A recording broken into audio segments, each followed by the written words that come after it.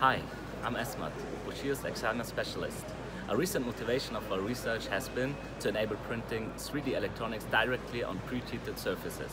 This could have significant implications for products which are heavily reliant on weight reduction, such as those in the automotive or aviation industries. Why? Simply because our Excimer does it best, performing at LOPEC and Hall B0 stand 203. We are looking forward to see you there.